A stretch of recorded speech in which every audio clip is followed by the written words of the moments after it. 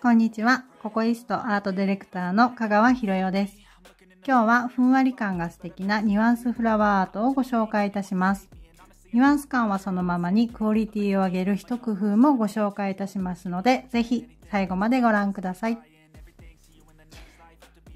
では今日はこちらのニュアンスフラワーアートをご紹介いたします。使用商品の詳しい説明なども動画の後半でさせていただきますので、まずは作り方をご覧ください。はい、ではアートしていきます。こちらベースジェルを塗って硬化した状態です。こちらの上にアート用のクリアジェルをのせていきます。こちらのアート用のクリアジェルに関しても後ほど動画の後半で詳しくご説明させていただきます。こちらを全体に塗ります。ちょっとつるんとするぐらいの量です。で、こちらを塗ったら、このまま硬化しないで、この上にカラージェルをのせていきます。では、この上にカラージェルのせていきます。ちょっとマットな、しっかりと色が出るカラーのせていきます。こちらパステルカラーのパープルです。こちらをちょっと丸い形のブラシでのせていきます。で今クリアジェルをのせた上でその中に置いていくような感じで周りに色をつけていきます。で、再度、こんな感じでのせたら、先端もちょっと取って、こんな感じでのせていきます。で、この周りですね。爪の周り全体を囲むような感じでのせていきます。クリアジェルが乗ってますので、ちょっと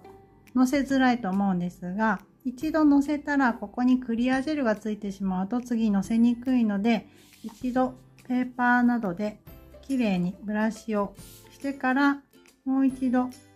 カラージェルを取ってのせるとしっかりと色が乗ります。でこんな感じでちょっとのせたらまた少し取ってこの今真ん中が空いてる状態なんですが少しカバーするような感じでこっちからでもいいんですけどどっちでもいいですちょっとカバーしておきますこんな感じでのせたらクリアジェルの中ですので横から見ると割と凹凸もなくつるんとした感じに仕上がっていきますこの状態で一度硬化します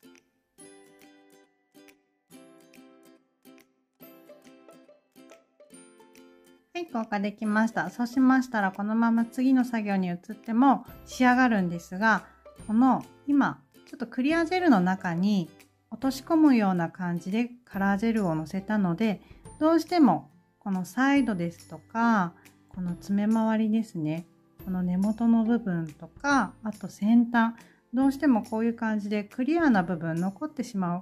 感じになります。で、このまま仕上げると、どうしてもここ塗り残しがあるような感じの仕上がりになってしまうのでちょっとクオリティを上げるために先ほどのせた同じ色です。ちょっと取ってこのサイドの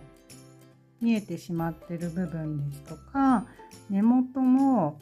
ちょっとクリア出ちゃってるところにトントンと置いてしっかりと周りだけクリア感をちょっとないようにのせてしまいます。そうするとニュアンス感は残るんですがちょっと何て言うんですかね。このサイドがきっちり感が出るのでニュアンスアートなんだけどもしっかりとクオリティのある仕上がりになります。このひと手間だけでかなりあのニュアンス感は損なわないんですけどちょっとクオリティ上がるので是非このひと手間は加えてください。こんな感じで一度硬化します。はい、効果できました。そうしましたら、一番最初に全体にのせたクリアジェルをもう一度のせます。こちらアート用のクリアジェルです。でこちらを最初に全体にのせたのと同じぐらいに全体につるんとする感じでのせます。この時量たっぷりじゃなくていいです。フォルムが崩れてしまうので、ちょっと表面つるんとするぐらい。こんな感じで大丈夫です。そしたらこれをこのまま硬化しないでカラージェルをのせていきます。はい、ではカラージェルのせていきます。次にのせるのが、こちらのちょっとくすんだグリーンなんですが、こちらは先ほど今一番最初に塗ったこちらのパープルと違ってちょっと透明感のあるカラーになります。こちらは先ほどと同じ先端が丸くなっているブラシで取ったら今クリアジェル塗って硬化してない状態です。でこの時点でどこにお花を描くかをだいたい決めていきます。私は今回はこっちの左の下あたりに大きめのお花描きたいのででこのお花の周りにちょっと葉っぱっぽくのせたいのでこのお花がここら辺で中心がこの下ら辺にあると仮定して、まあ、それの周りの葉っぱっていう感じにのせたいので位置をまず決めたらちょっと葉っぱを置きたいなっていうところにクリアジェルの中に入れていきます。でこれも先ほどと同じようにクリアジェルの中にカラーをのせていくのでちょっとクリアジェル一度のせたらペーパーなどでちょっとブラシきれいにしてからもう一度取ってのせてあげるとのせやすいと思います。でこれのせた後ちょっと触ってあげて好きな形にすることもできます。でこんな感じで一度硬化します。はい、硬化できました。そうしましたら、この上にお花を描いていきます。今度は、えっと、オレンジのクリアカラーのジェルを使っていきます。こちらは透明感のあるカラーです。で、こちらのカラーをのせる前に、一番最初から使っているクリアジェルを全体にまたのせます。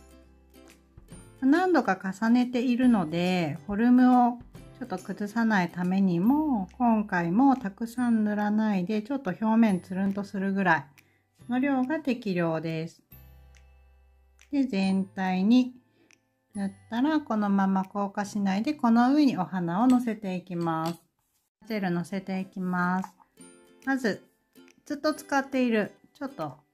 丸い形のブラシです。ここに、先端にちょっと取ります。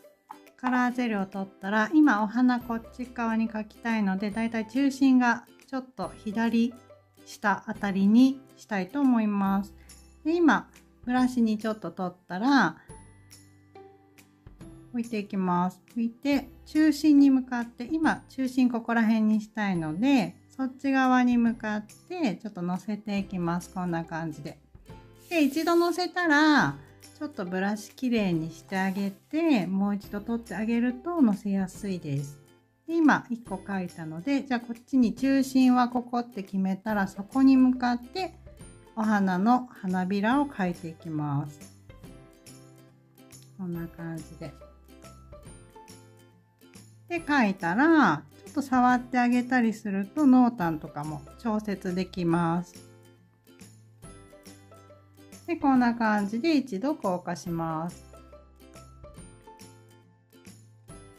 はい、硬化できました。そうしましたら、この上にライン描いていきます。ラインを描く時も最初にのせたアート用のクリアを全体に薄く塗っていきます。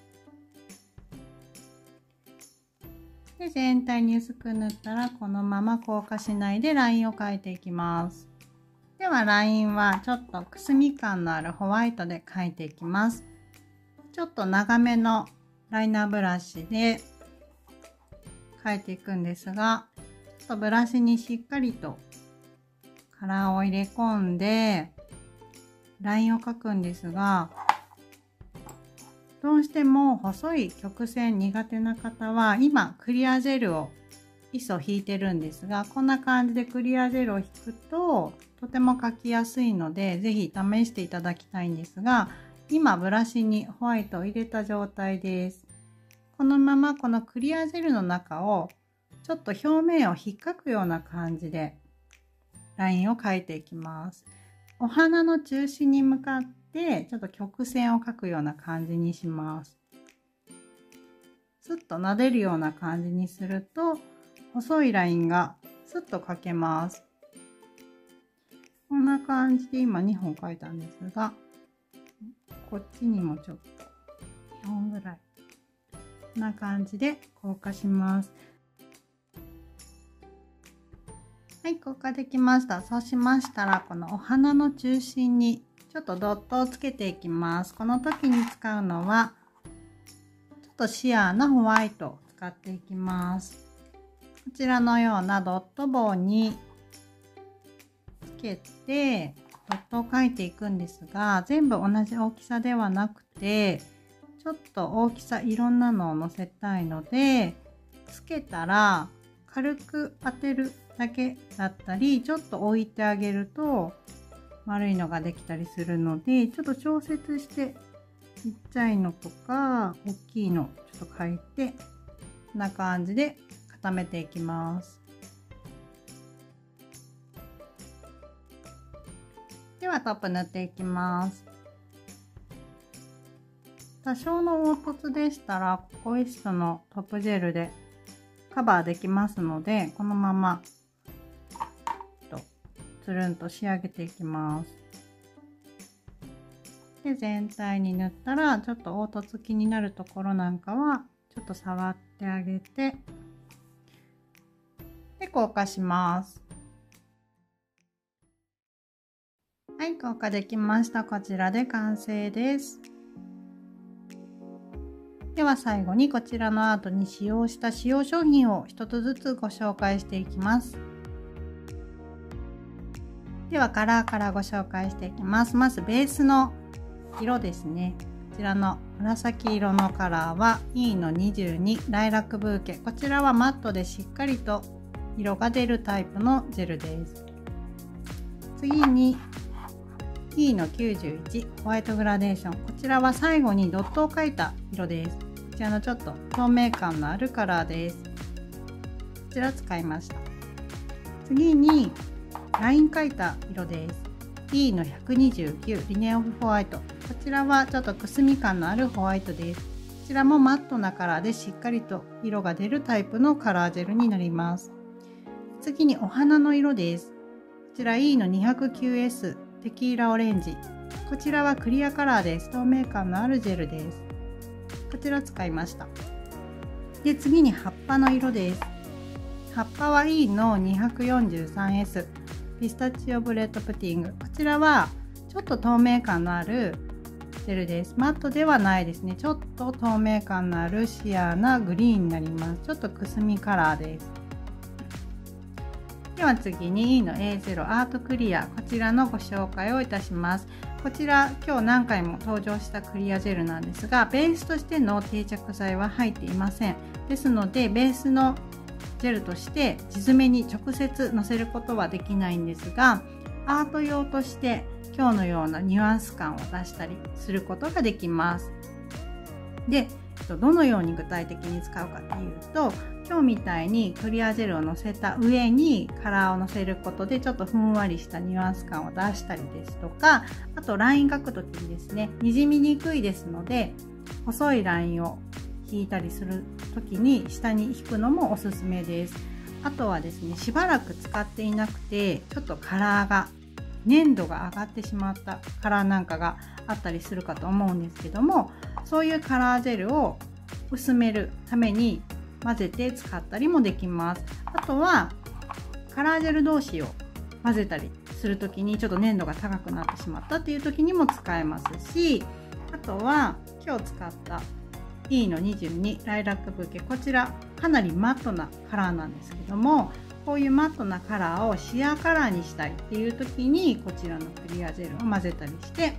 シアーカラーを作ったりすることもできます。